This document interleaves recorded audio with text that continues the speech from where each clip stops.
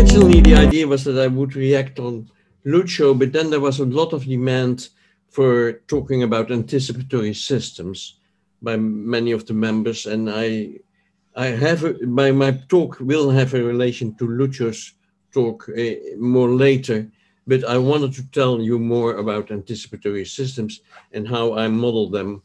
Uh, actually, it's an appetizer. People who are really interested can find more in uh, chapter seven and eight of my recent book, uh, which will come at the end, uh, which is freely available, by the way, uh, so people can download it and, and we can come back to that.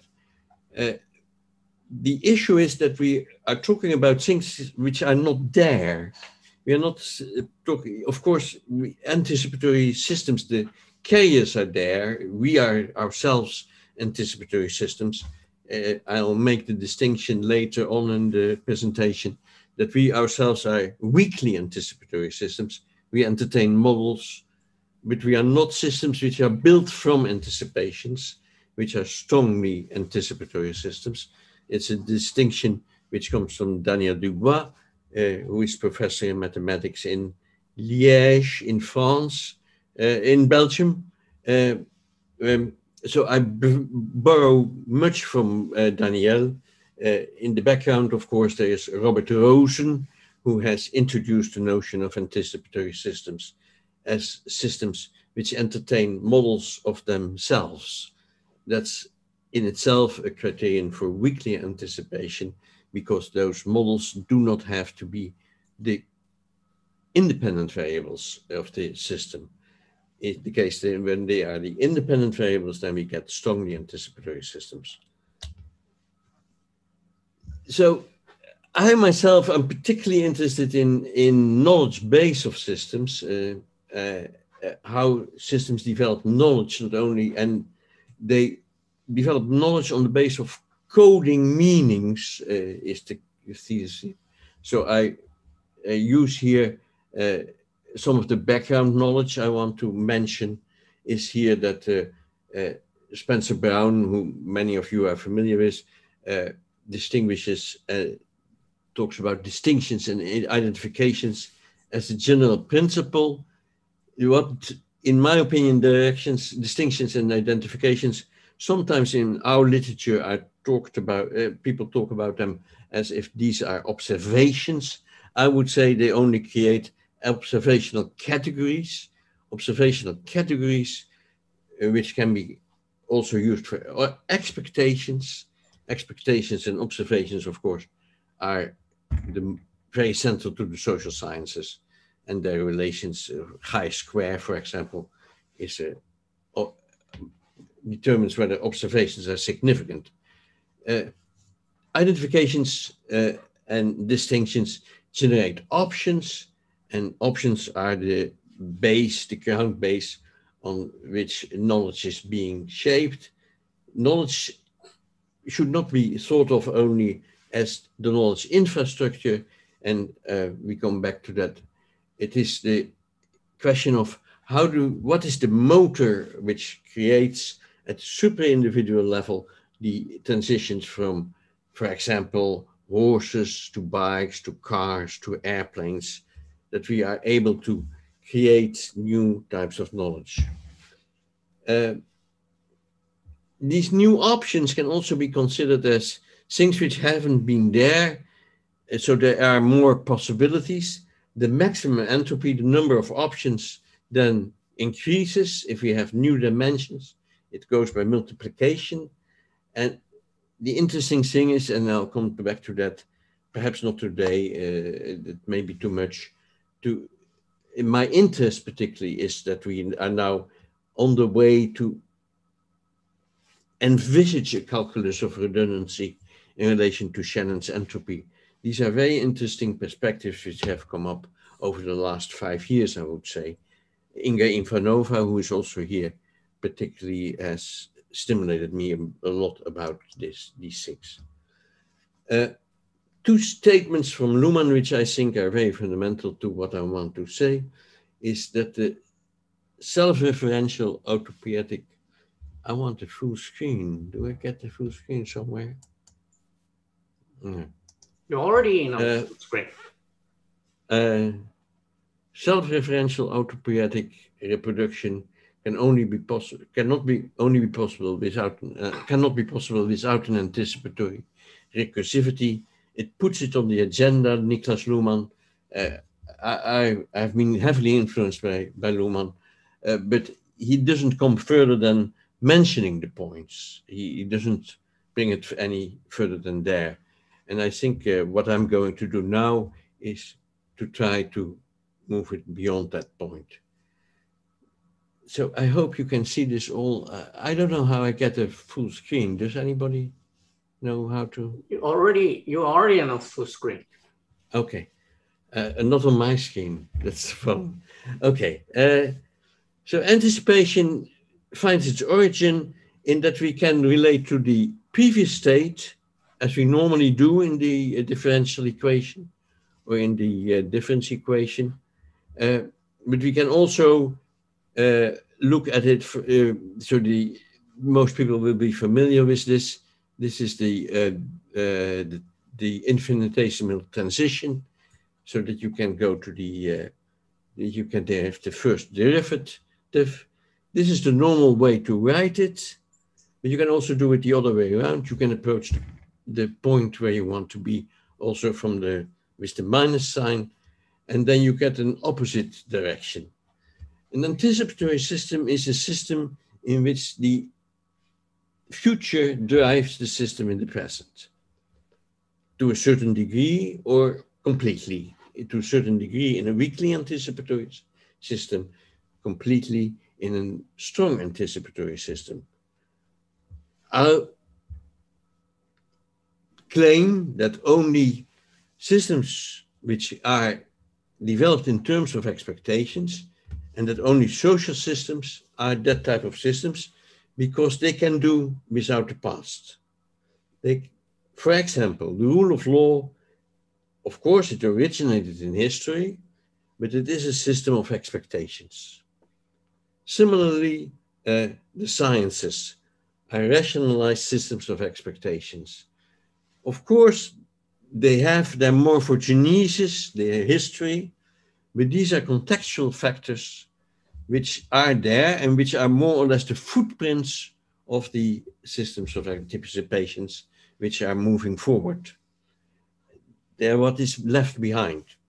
The same for us, for technologies, for organizations.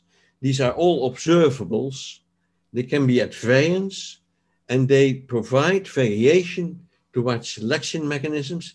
And it is the specification of those selection mechanisms which we have to do and which I will try to do in the remaining of this uh, lecture. The idea to cancel or to go against the arrow of time gives us new categories. So we can go against the arrow of time. And with the arrow of time, because of the second law, we have the increase of entropy. But against the arrow of time, we can also have the reduction of entropy, the reduction of uncertainty. So here we get genotypical systems. And while in the other case, you can, of course, the point is here that you have two directions. You have you have the phenotypical, which is historical, which goes forward, which builds on its previous state. And you, by doing so, it's the morphogenesis of the system. The system originates, which turns, takes over control top down. So bottom up is the construction, the historical construction, top down is the genotypical, but it isn't there. It isn't there because when it was there, it would be phenotypical. So it is only that we can entertain it. We can entertain it as things about which we are uncertain. So Husserl, for example, calls that the cogitata. The cogitata is the uh, counterbalance against the cogitans. The cogitans is us. We, we are able to entertain ideas, and these ideas are not in reality, they are hypotheses. They have the status of hypothesis. You can also depict this in sometimes as a deep triple helix relation, you see the same. You can also call this a hole and the other one an overlap. So, okay. I'll use the logistic map as the prime example because in the logistic map, most people will be available, uh, familiar with this. We have the growth term and we have the selection term. So we have the variation historical. The system builds up on its historical previous state and it is selected. The selection bends the curve back to the sigmoid. Yeah, more people will be familiar with the sigmoid curve. So you get the upspring if x is near zero.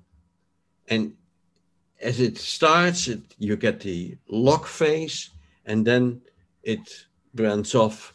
Perhaps I should have given the curve here.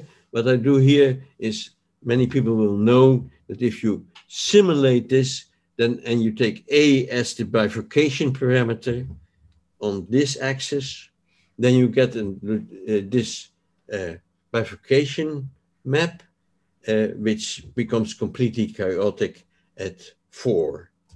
Yeah, this is uh, a, a, finding which we find everywhere in in nature, in biology, in things which can be observed. The interesting thing is now to take the logistic map and to develop in addition to the traditional, the one which we had a moment before, the one which relates to uh, the previous state of the system, to take the incursive form, which relates not only to the previous state of the system, but also to the present state of the system.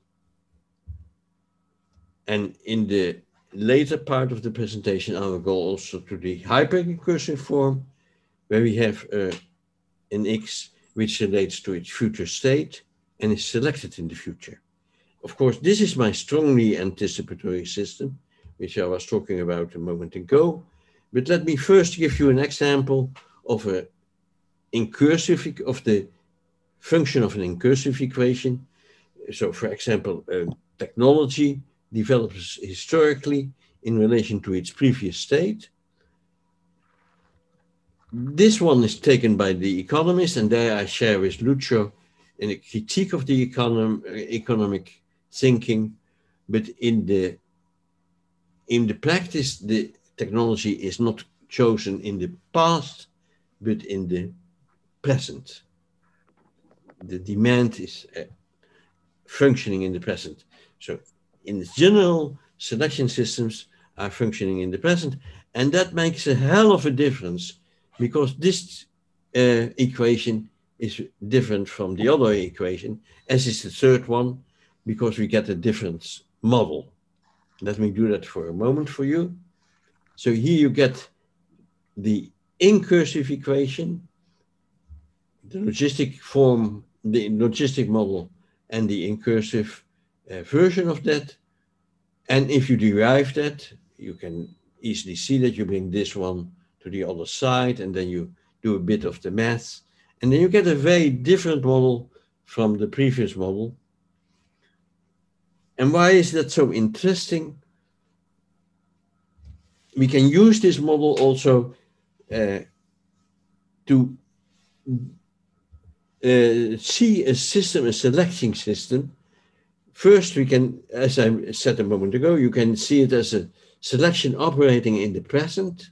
So the selecting system is the operating system, the ones which drive the system.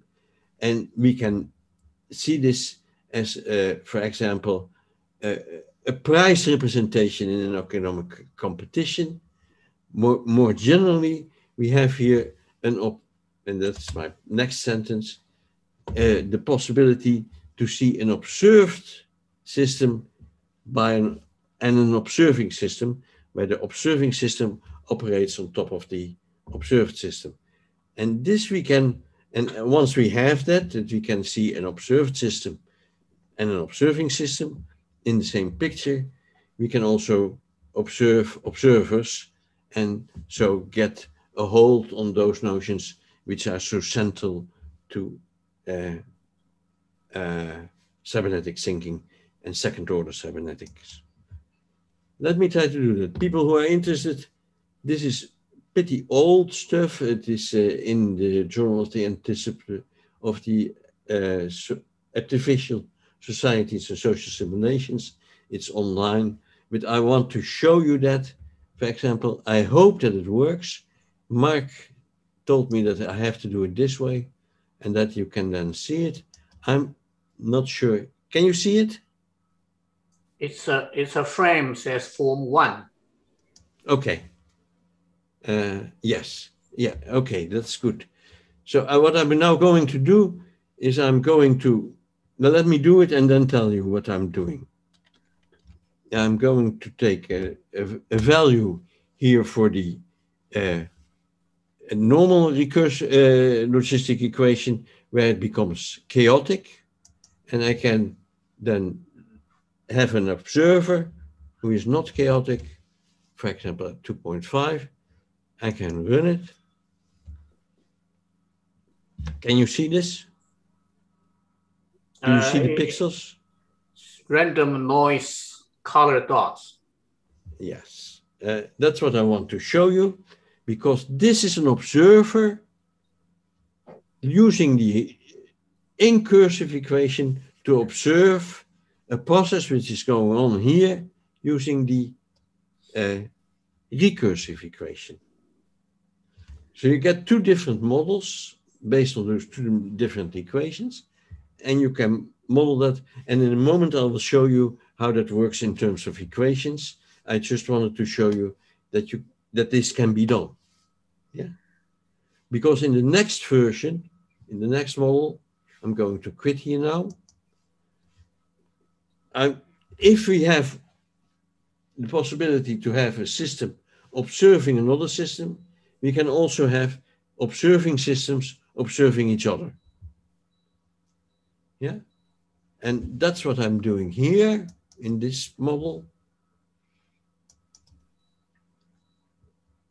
So here I have the parameters in the bottom line. I have to take a parameter below 3.8 because otherwise it becomes too chaotic. 3.6 I usually take, it's a bit arbitrary. Let's, let's take something else, 3.4. Then I have an observing system, observing the uh, observed system, for example, with, uh, let's say, uh, 2 and we have an another observing system. Oh, I'm having here a problem system. with the C. And I have an interaction between the observers, for example, 0 0.5. And I can run that. So what I essentially do here, let's assume that these pixels, these clouds of pixels, are actors. Each actor is a pixel, it's a cellular automaton. Uh, so I have plenty of pixels here. So this is the observed system. This is one observer. This is another observer. And this is an interaction term between those two observers.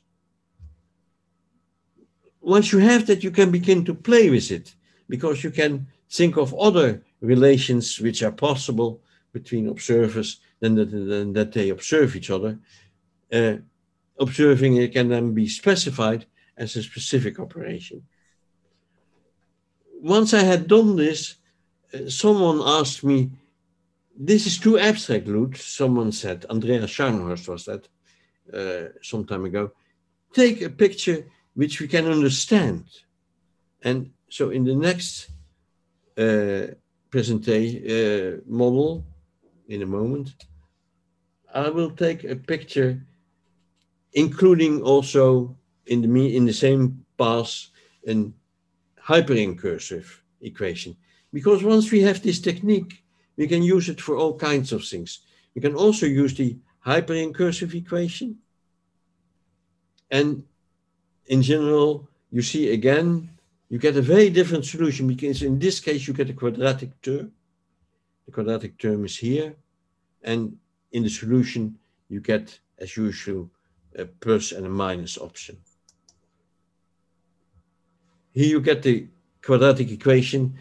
Uh, uh, I'm sorry, I'm not following precisely the same order what I was announcing, but it will come in a moment. Uh, so here you have, if you have the three equations, the three versions of the uh, logistic equations I have now plotted into the same space. So the black one is the old one which we had, which has a limit at four. In the biological domain, we cannot go beyond four. So I call this nature. And here you have culture, which allows us to play with anticipations. Here we have the weakly anticipatory system. If you work that out, you can see that there is a steady state. And this uh, corresponds to our idea that there is a, a body, and here we go to the mind. In the hyperincursive equation, we have two solutions, and that's precisely this green curve. So if you elaborate those equations, you get these options. You get these ideas about that there is a, a reality out there which is not a res extensa, as or to use a Cartesian term. And here I have the uh, Jungian terms, which Bateson, Bateson also use. Uh, and this is in Bateson's term, if I've correctly understood it, creatura. It's from the gnosis. So it's the natural world which we can observe. And then we have a world which we cannot observe, but we can theorize and we can expect it. And we can have an idea, and we can discuss it. So it's not for Descartes, the cogitatum, the one the thing about which the cogital is uncertain is God. For us, it is no longer God, it's interhuman relations which enable us to entertain realms of expectations. And we, these expectations are not with structureless, such as God, something which is there, which we, we, we have no structure for it. Uh, of course, the Greek had 20 gods, then you begin to have a bit of a structure. So Marx, for example, at a certain moment says in the Communist Manifesto, all that is solid will turn into air, but it is not air, it is structured. And this structure we can begin to explore using these equations or similar equations. I use now these equations. And we can also study it once we have operationalized it, and that's the crucial step that we have operationalized something which we cannot observe, but which we can agree upon, not necessarily, but we can make progress in making more agreement about what we think about those systems. So let me summarize before I turn to the uh, uh, modeling the same thing in terms of those cellular automata. Two anticipations operating upon each other can generate a strongly anticipatory system.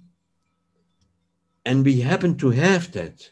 We have, and here Herbert Simon has the notion of horizontal differentiation and vertical differentiation. And this relates to uh, because vertical differentiation, vertical differentiation is a hierarchy. So we get on a system on top of the previous systems. And at each interface, we get the delta t. And this corresponds to a selection, a selection. So we don't, we get here what Heinz von Förster called, for example, an observation, an observer, which can operate upon an observer. I prefer to use the evolutionary terminology of a selection. We can have a selection operating upon a selection, And in a moment uh, or later, our, these selections are all between one and zero, and therefore they can be multiplied upon each other, and we get a product of selection mechanisms. And the possibility of a strongly anticipatory system. So this is to pick up the issue, uh, I'll come back to that in a moment, uh, of horizontal differentiation.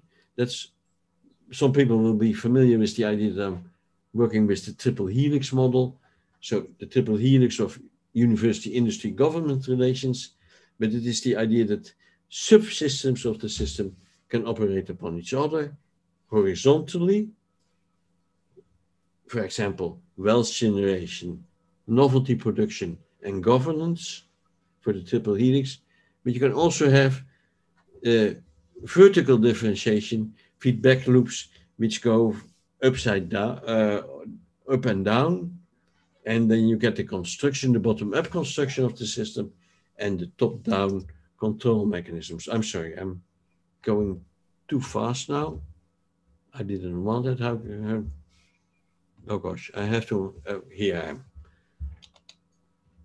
So this allows us to combine this, when we allow or combine this with the previous, we get the idea that we have two types of interfaces, vertical and horizontal.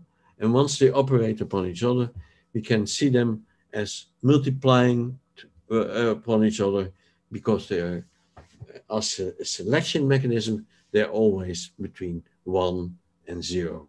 If one, if x becomes one, this becomes zero.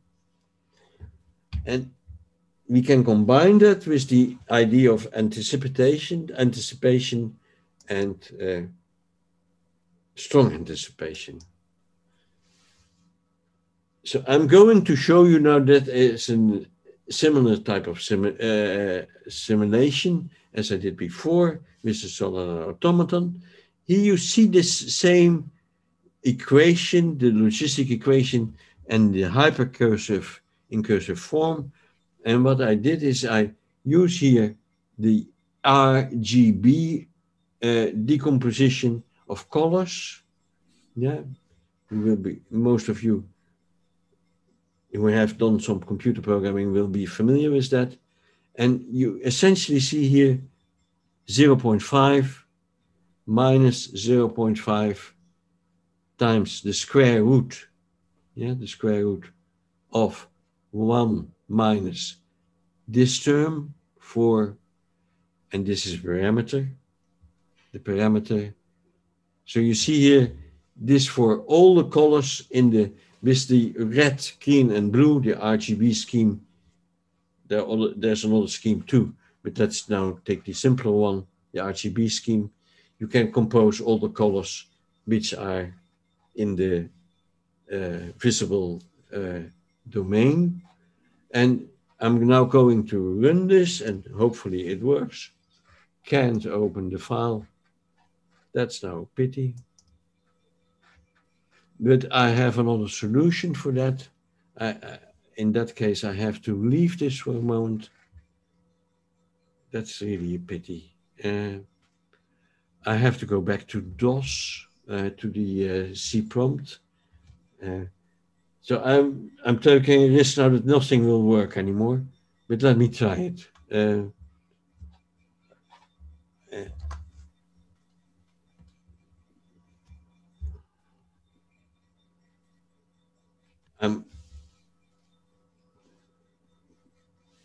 How do I get the possibility to go back? Oh, I can. Uh, yes. Uh, let me leave this behind and go back. Uh, can I exit here? I can't, eh? Mm. I want to show you this. Uh, so I'm going to I'm going to share again. Uh,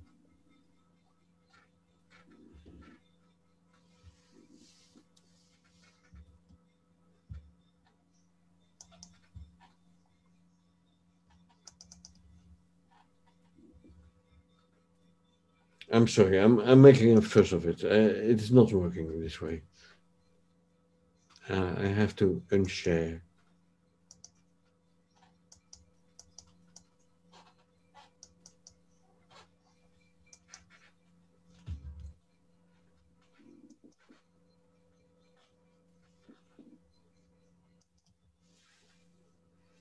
No, it's not working. I'm sorry.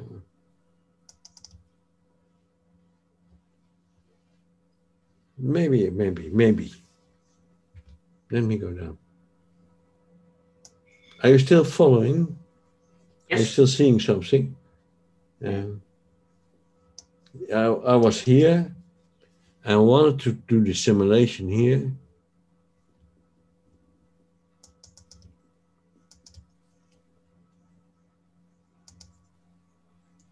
Mm.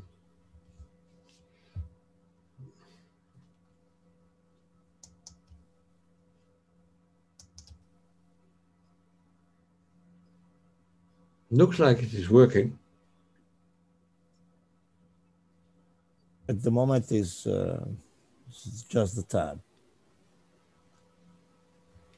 This is another one. I, I didn't want to show you this. This is another one. I I'm sorry. This is not what I wanted to show you. Can I get out of here? Alt F4. Uh, yeah, but it is hopeful now because I'm showing you something. I You wanted to show you this one, and maybe maybe it works. Maybe it works. Let's hope it works. Uh, it says you have to do the control click to follow the link. Yes, that's it. Can't open the file. Okay, so I maybe more, more, um, need more Oh, preparation. I'm sorry. I, I, No I do once more. Jump, jump I'll to the next one- one. I go again. uh, I'll do it again. That was the trick. I had to do control. Hmm. I'm sorry for the confusion. So now I'm in the right screen and I now should now do control click. And-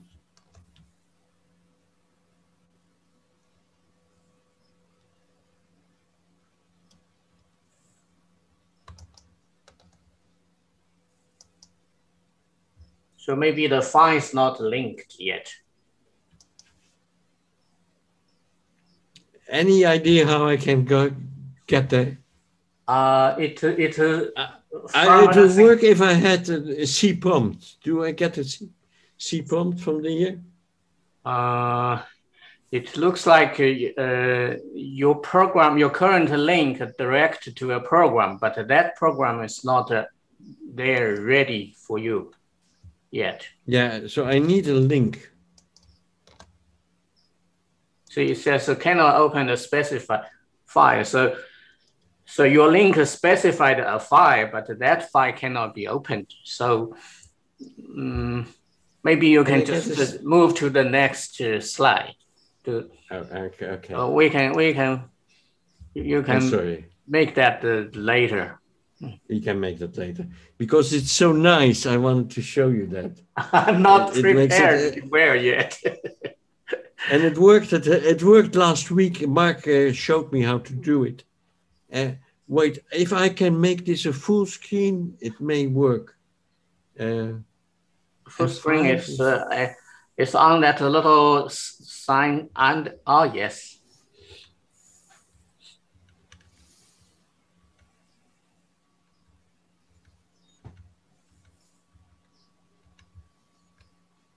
Yes. Control. No, go back one. Control click.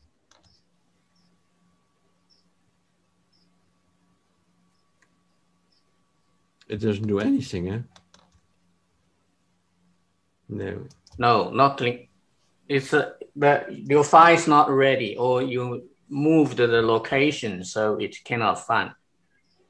Uh, it's a pity. It's a pity. It worked last week. Okay, we'll we'll ask you to do that next week. But- Okay, okay. continue, Let's let me continue with my, my storyline.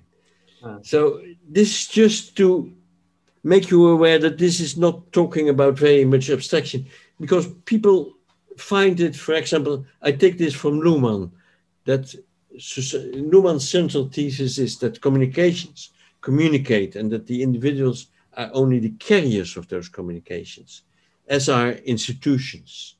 So here you can understand that you have two systems which are, uh, to use the word of Maturana, structurally coupled on the one side at the same time as they are operationally coupled. Selection, so we have a dynamics very different, that's all the time my story, uh, very different from the biological one.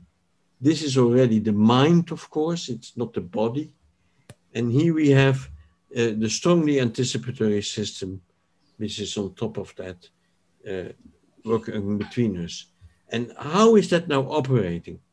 We can begin to, once we have seen this we, until now, we can begin to see that we have interactions between observations or representations or anticipations, or how you want to call them. There's different semantics for the essentially the same thing. The same thing is the cogitata, the things which we are uh, doubting about. We can, these meanings can interact, they can be organized, and they can be self organizing. And this relates to Lucho's uh, storyline. These three levels, which I take from Luhmann, again, we can operationalize now, and we can use, uh, for example, two selections operating upon each other in interhuman communications, creating a double contingency, which means that ego knows alter, the other, I know the other as human being, to entertain expectations as I expect, to I expect the other to entertain expectations as I entertain them myself. So in all relations with all of you. You have expectations regarding me now talking, and I have expectations about you. And that's different from our first contingency. Our first contingency is the contingency in which we can touch each other. It's, we expect the other to be there. And when these expectations are organized and self organized, we can begin to think about that in terms of anticipatory systems. Organized anticipations are, for example, the Lucho's example of a hierarchy of those expectations is then possible. It can also be less hierarchy, and there can be self-organization of those systems. I'm going to show you that now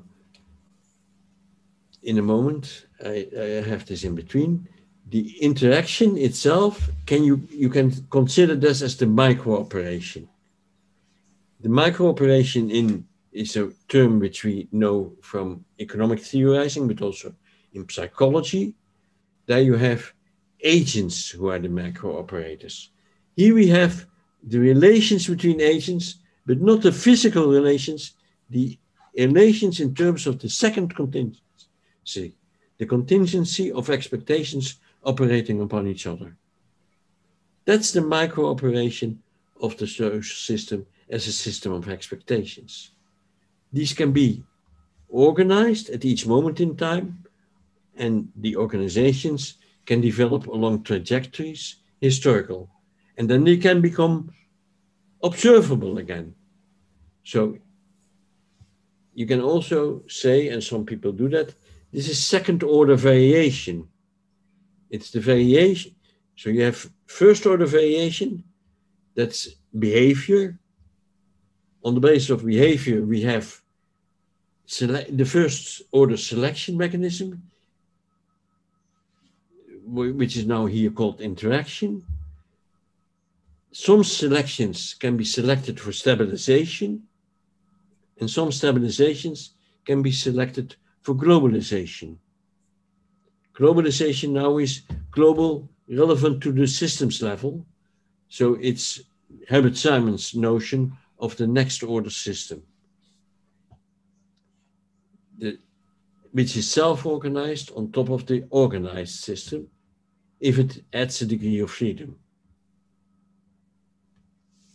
So here you get historical trajectories, and at this level you get regimes.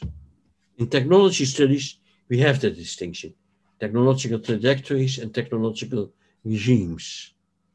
Regimes change slower than trajectories. Trajectories are developed over history, and regimes, of course, also eventually have to be historical, but it is not the dynamics. The dynamics is evolutionary. They operate by selecting. Okay.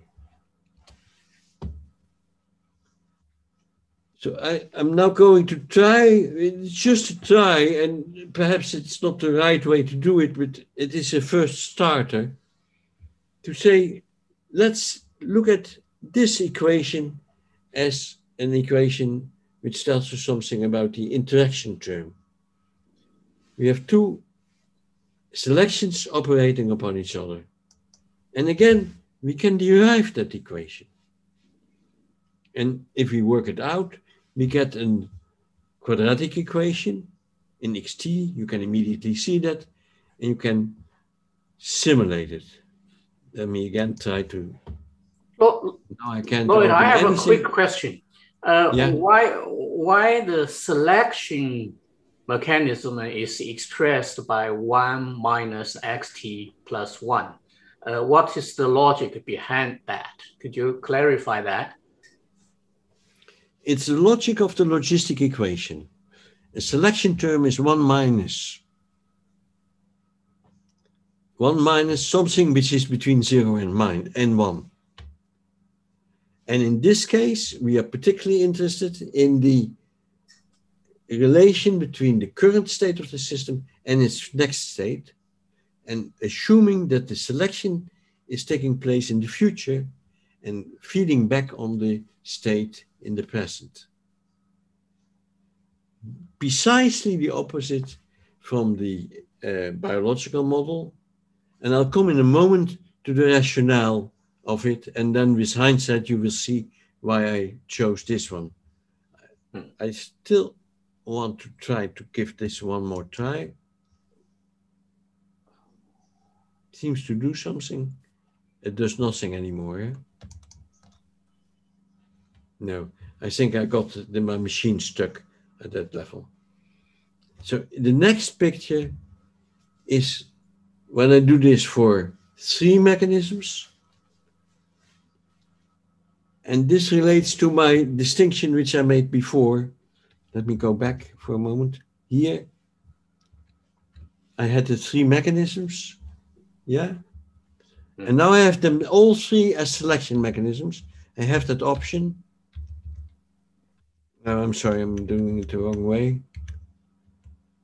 This was with two, and now I have them with three. And then I can make a very nice distinction here with, again, a term in the, in the future and a term in the present. So here I have the hyper-incursive one.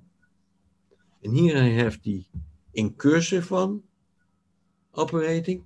So it bends the system back in the present, and I propose, suggest that this is the organization of meaning, and here you get the self-organization meaning.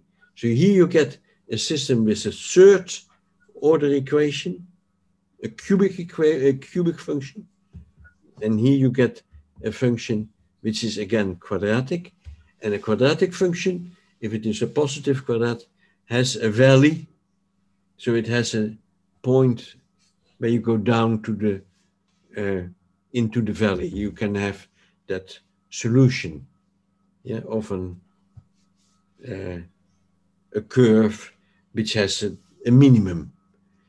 This curve not only has a minimum, I'm sorry, I'm making a fuss of it. Uh, this curve does not, not only have a minimum, it also has a kind of saddle point, a point where it goes over the hill back into a next valley, and the next valley is a different regime. It's a different regime. So if we take a picture of a, a river which goes through a valley, this river goes through the valley, and this one is not a river, but it is it's not a, following a trajectory, it's going through regime transitions. It's highly relevant through the points which we are discussing nowadays about regime transition, about, for example, energy transitions which are needed in society. If we want to model that for the social system, it's different from how we model it for a technological or a biological system. It's namely a system which develops in terms of expectations. Here I focus again on, on this difference between an xt and an xt plus 1 as an independent variable. And this one, if I, I simulate it, I, will say, I, I think I, I had simulations added here, but I can't see it. Uh, this is in the way. Can I take this away? No, it isn't. It, it should be here then. Can I take that out of here? I had simulated it all. Oh, here they are.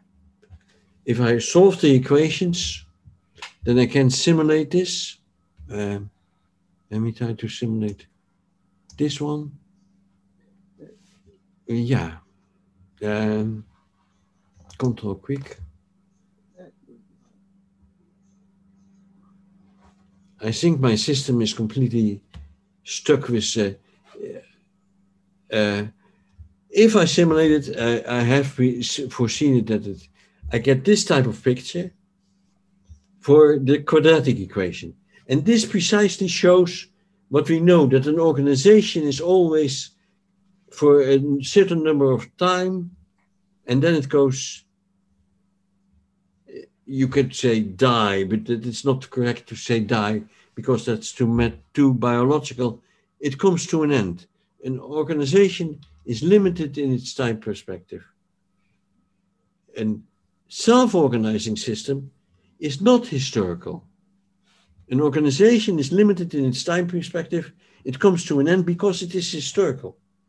We ourselves are meaning process, historical meaning processing systems, at least in the, in the term of, of our body, which is historical. We, we, at a certain moment, we die. We have a life cycle. Yeah. The social system is not that type of system. It is a system which goes beyond one generation. It can go for centuries. We can still read Roman or Greek literature. We can. It is a different type of organization. It is an anticipatory organization. The literature, of course, is the footstep, footprints which it leaves behind. Uh, so if it would work with the simulations, I'm sorry that it doesn't work. I think my equations are still okay. Let me give it one more time. Uh, the point is that I have to clean my memory. I have to do a reset before it will work.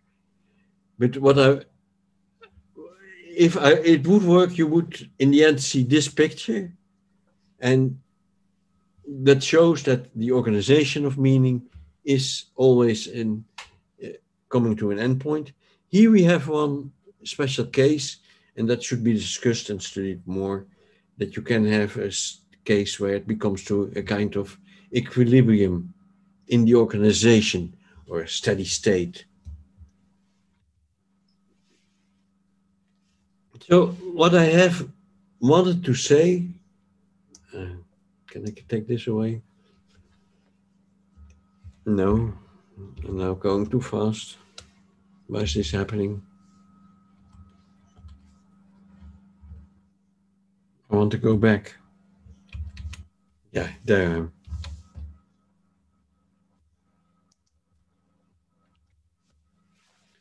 So I need only a couple of. The, the, the charm of this is it's so parsimonious. I need only a limited set of equations to model here. Uh, in my book, I say I need eight equations. There are two more. But the six, which I central, which I introduced you to you, Uh, interaction, organization, and self-organization. Yeah, these are the Luhmannian categories. And Herbert Simon is in the background. And the operations which are working in that are double contingency, identity, and reflexity.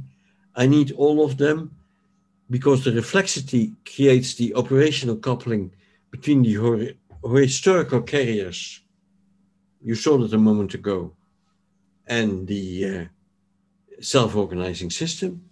And the identity is needed to create the historical, the historical carriers, us, the agents. And it all needs to essentially what can be mathematically expressed, and this hopefully answers Jason's question. By this equation, which gives you the horizontally uh, the horizontal differentiation as the g, yeah, which goes from one to n. How many of those different systems are there? There's a uh, conjecture of Herbert Simon that it is always an alphabet. So if we take our body, for example, there are organs and different types of cells. There's an alphabet of those possibilities. If we take society, we have the codes of communication as the equivalent. We can have truth, love, policy, political system, the juridical system, the military system. It's again an alphabet. The G is giving us that horizontal differentiation, and we have the T for the vertical differentiation. Yeah. So we have the longitudinal all the time, the longitudinal with the possibility of the inverse, the T minus delta T, or the T plus delta T, and we have all the possible uh, multiplications of those. And of course, in the I don't have them yet, but it is a future research program that we should try to find them. Okay, uh, it brings me to the end, and I wanted to give you this as the final message, and I'll come then to a proposal that I step out of the communication, reset my computer, and try again to come back to you uh, with the picture while we can continue perhaps the discussion in the same time. It is, uh, but I wanted to give you this uh, because I think I work in that paradigm of Kenneth Boulding, which he set out in ecosystems, in ecodynamics, a new theory of society uh, evolution. It's from 1978 and has been deeply underestimated, where he tells us the story. My Oxford philosopher, philosophy tutor, who had the curious habit of crawling under the table while giving his tutorials, commented in a high British voice coming from underneath the table on a paper I had given on evolution. It's all very well to talk about evolution, Mr. Boulding, but what evolves? What evolves? what evolves? And Boulding answers, after 14 years, I have at least a glimmering of the answer. What evolves is something very much like knowledge. And what I try to say is it's not knowledge, it's not all kinds of knowledge, it's not tacit knowledge, it's discursive knowledge, it's knowledge which we develop among us in terms of systems of expectations. That type of knowledge we can further specify. It is not there as it is, as a table is there. It's not there as the derivatives of the Latin esse, yeah, to be. It is there as a system of expectations.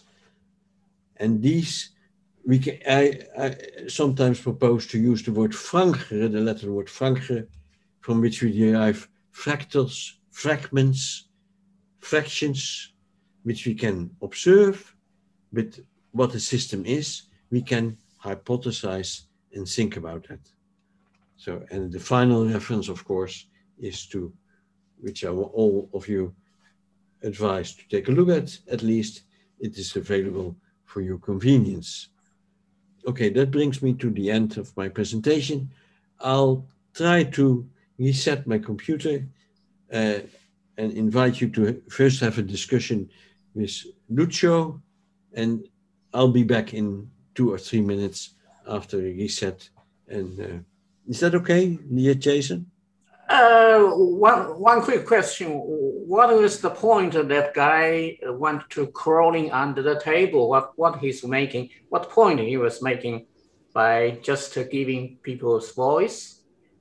I mean, why it he, is the insistence. What is the explanation? it is the insistence on what evolves, what evolves, what evolves. For example, in in, in evolutionary economics uh, Esben Sloth Andersen uh, from Denmark made that point uh, emphatically.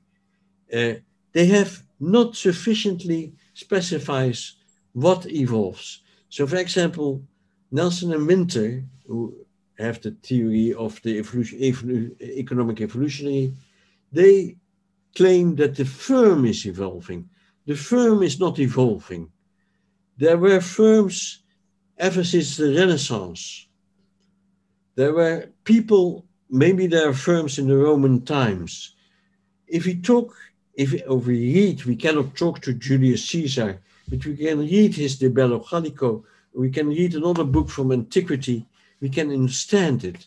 It's not the people who are evolving, evolving. It's not the, the firms which are evolving. It's not anything which we can observe in the social reality. The problem is that what evolves in the social reality is something so esoteric as knowledge. And given that we have now 40 years of science and technology studies, we have begun to understand that we can think about knowledge, that we can think about it as epistemes, about which we can see the structure. So the emphasis here on what evolves and the, I liked to give this quote because I think once you have read it and you have seen the per person, the Oxford teacher, underneath of the table, you will never forget it. So would you agree that if I call that uh, something very much like knowledge, a cultural DNA, it is the cultural DNA, the format? Uh, the DNA is a risky concept because it is biological. And people are inclined always, and and I'm so too, and you are so too, to go back to biological metaphors. And we need them to help us understand. But they only have a function in the morphogenesis of the system. So they only help us to understand it. What evolves, what we have in common with the uh, biological system is not that it is DNA, it is that it is code. The okay. DNA is a code, and so is the code of the communication. I'm sorry. Uh, Loet, I have a very qu quick question about what you call an accurate metaphor. What do you mean by an accurate, accurate metaphor? Uh, it's not an absolutely accurate. Uh, I'll I'll stop sharing. Uh, not to be too necessarily dominant. Uh, uh, uh, you can have improved and less improved metaphors. Okay, so the word accurate is not the proper word. Okay, all it right. Is, uh, it's not a one to zero. It's just a better or worse metaphor. Got and, it. Yeah. Yeah. So if you have one which comes from a specific semantics, it has still to be washed to create the mathematics behind it. So the every model which- metaphor has limitations. So so every metaphor is inaccurate also at the same time. Yes, and even the mathematical metaphor is inaccurate because Okay, it only yeah. helps us Yeah. to go from one metaphor to another metaphor. Very good. Uh, very good. Thank you. The Questions? critical, the critical aspect of metaphors is the accuracy of the pattern connection. How patterns on one side of a crab's claw and then the equivalent of a lobster claw, how those patterns that have developed, as Loet has said, over the interaction with the environment and the quote knowledge or level of interaction that is codified. And in that codification of interactions, it's a higher level. And in biological systems, it's in the system itself with an abstract symbolic human, it's in a higher level of interaction that we are only starting to understand the structures. Is- Am I correct, Loet? Yes, you are. Fantastic. Now, how are we how are we going to make connection between Loet's idea and uh, Lucio's ideas? How, how Is do you connect for- the two? Lucio, Uh, you want to? I to think answer the that? connection, oh, go ahead. Yeah, Jerry, go ahead. Oh, my my Oh. The connection that I would see between the two of them is that Loet is using the notion of mathematics in a highly metaphorical sense, uh, which is which is fine with me. Uh, I follow his argument, but he cannot, or at least I think he would struggle to find a direct uh, correlation with individual events in the real world. Well, on the other side, uh, Luciano's uh, talk uh, focuses on trying to establish direct connections between the points of his graph and their meaning in society. And so I can get a, a very good mental picture from the- the economic perspective. With Loet, I have to have a very abstract picture. Yes, I agree with that. Uh, My counterpoint would be that the status of observations in the social sciences is that they can be significant or not significant.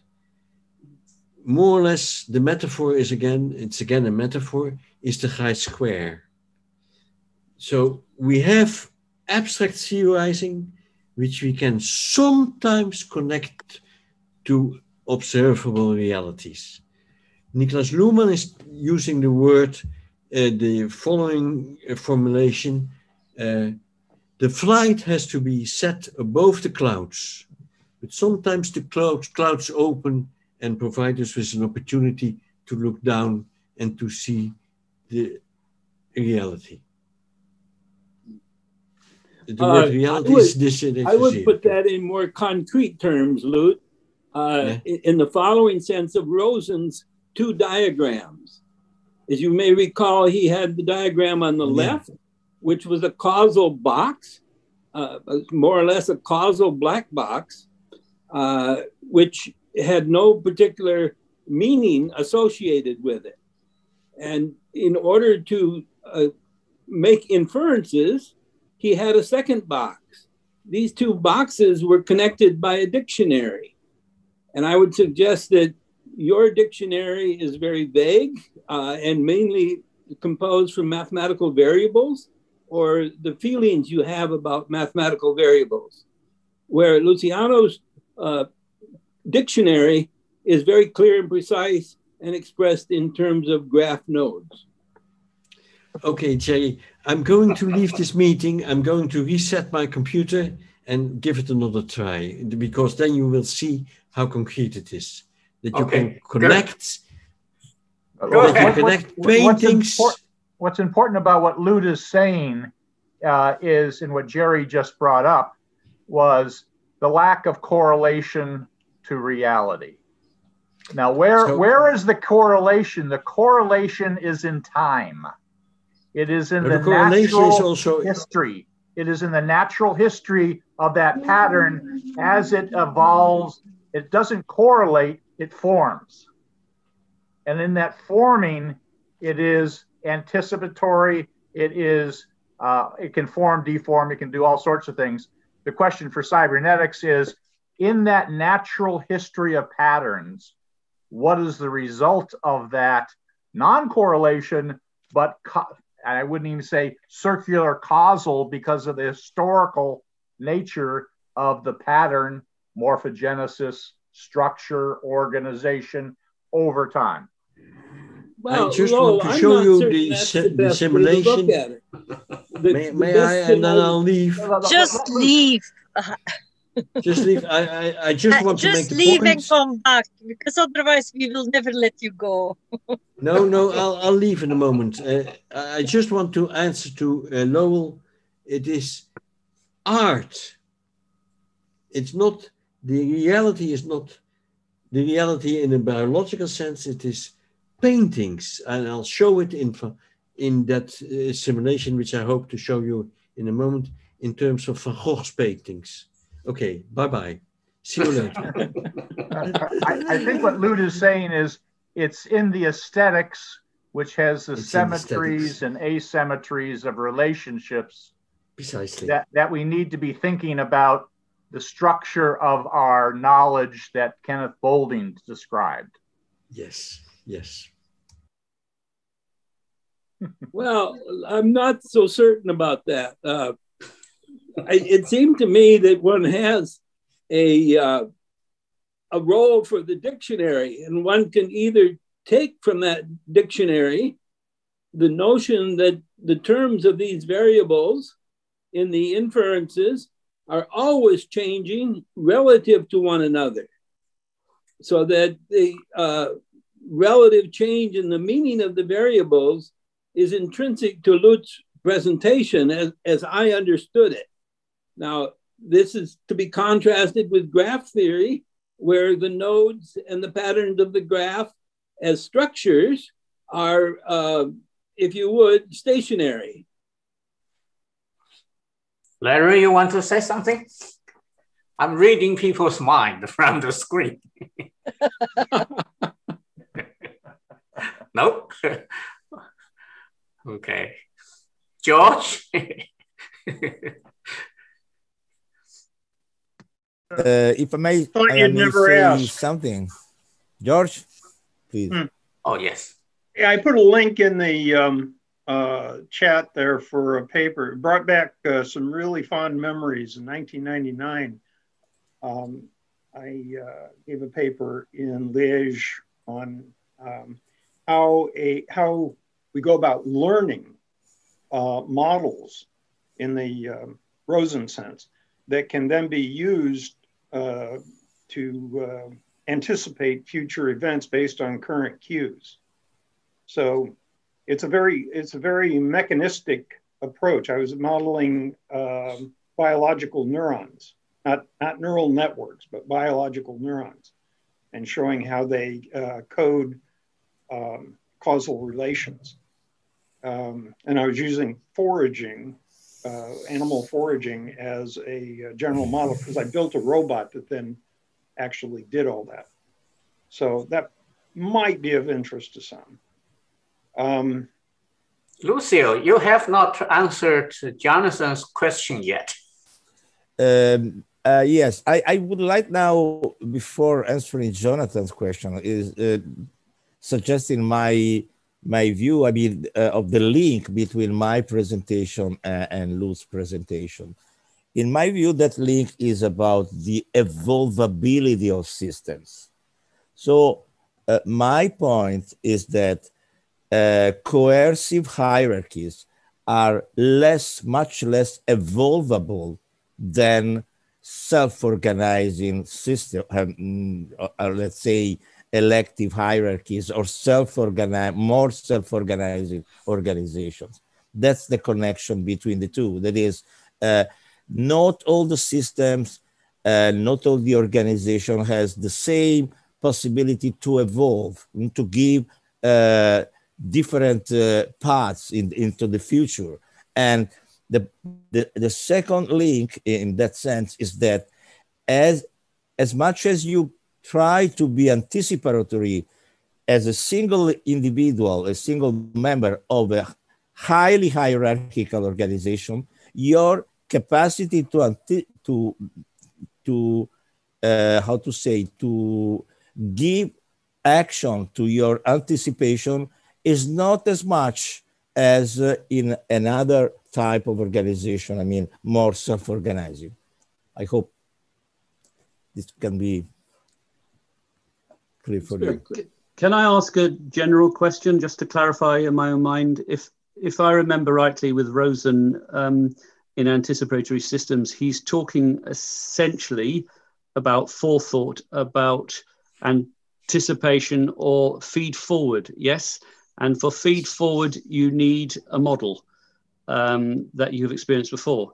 So, what I find very interesting with Loet's um, talk is that he's saying social systems are strongly anticipatory in that they obviously clearly have a very good model compared to the individual that's only weakly.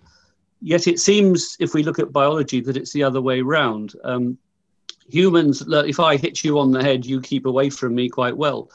But um, you know, any a blind man on a galloping horse could have seen COVID coming, and yet we didn't. And we've had quite a few plagues in the past.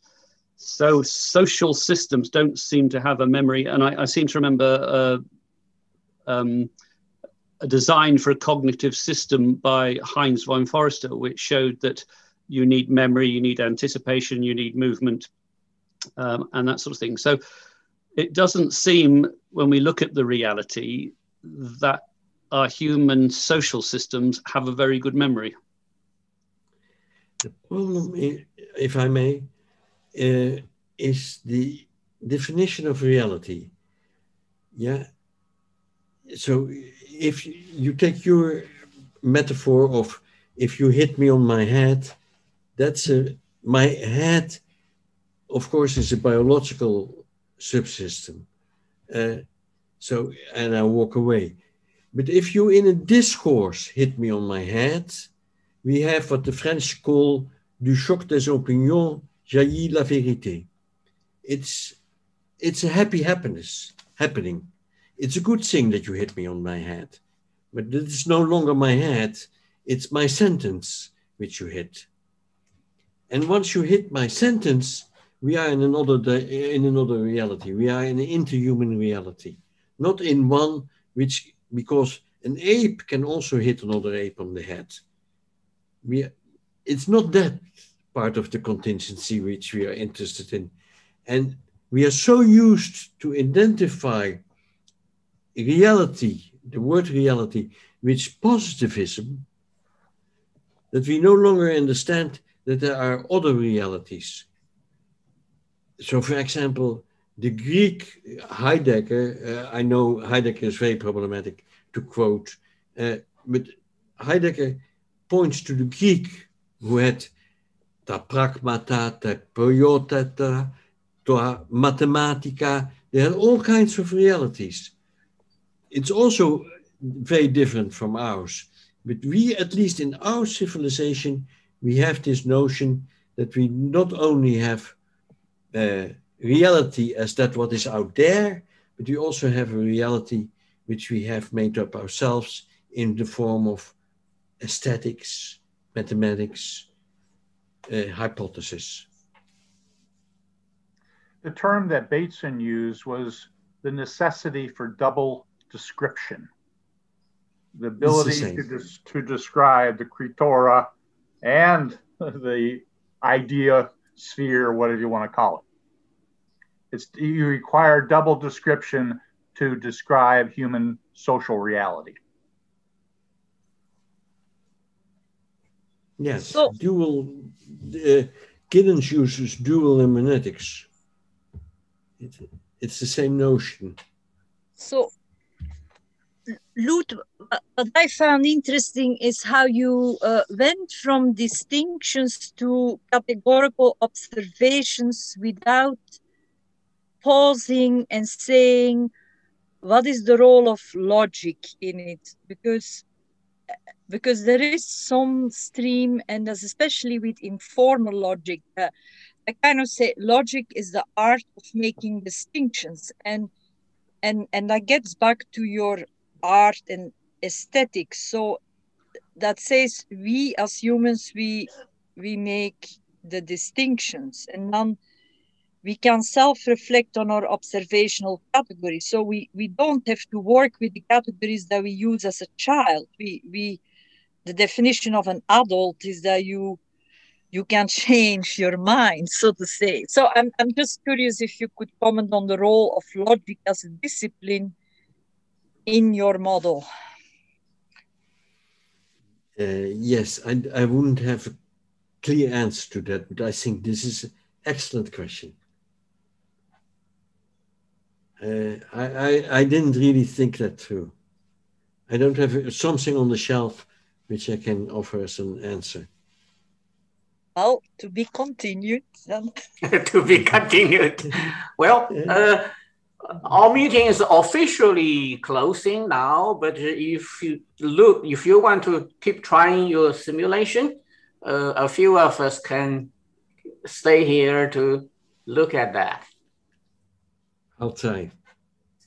This was not the right one. Stop share. Do it again.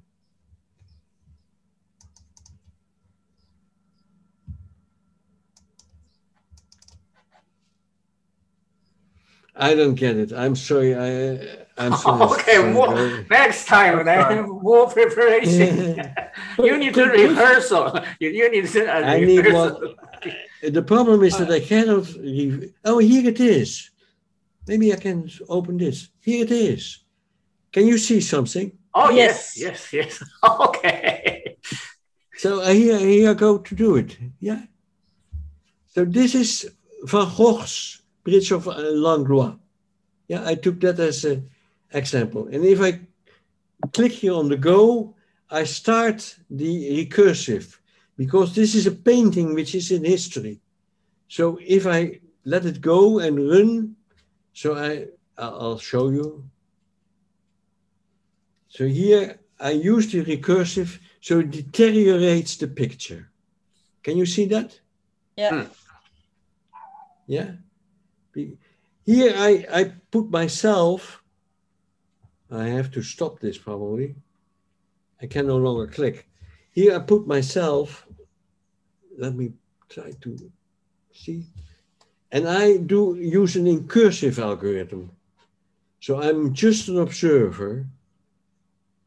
And in this case, in the, in the third time, I take the in hyper-incursive algorithm, and this lady who was uh, in uh, the project manager, uh, I used her face as perceiving through the system, through the social system, the representation, the, inc- the hyper-incursive representation.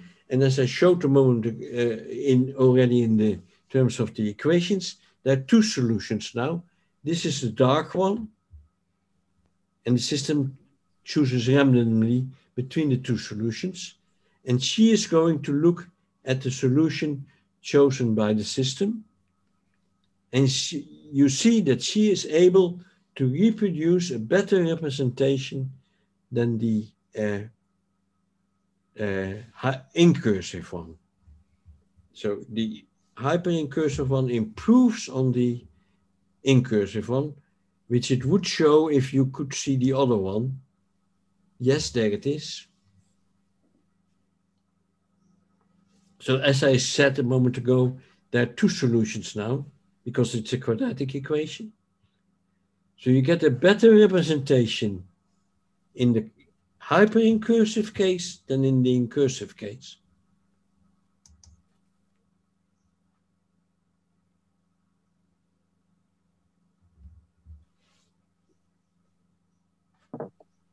And part, of course, of the message is that this is about art. This is about Van Gogh. It should start again. Let me give it a go. Here you get it.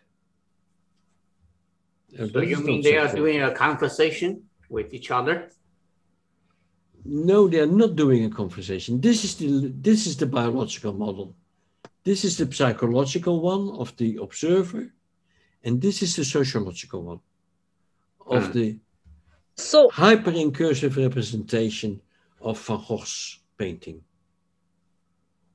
So, so but Loet, yeah, mm-hmm. yeah. What is go ahead. Yeah, sorry. What is interesting is the, the the gestalt is the same because I see the shape of the two trees and the and the shape of the bridge. So it is yes. the contrast and the colors, but but there is like an an a gestalt. Yeah, uh, for lack of better words, I call it a, a gestalt. So that is yes. so that would be the gestalt of the message, or or how would you translate that in your language? The anticipatory nature of the of the language, of the message, of the picture. So here we are looking. Here we are looking at an observer yeah? This is what is being observed, which is itself dynamic. And here we are looking at an expectation system, not an observer. Here we are in hyper-incursive mode, and you see that the picture improves. And that's what I just wanted to show you, that there is a relation with different realities. And that comes back to Jerry's point that we can look through the clouds to uh, points of reference. Okay, that is it for today.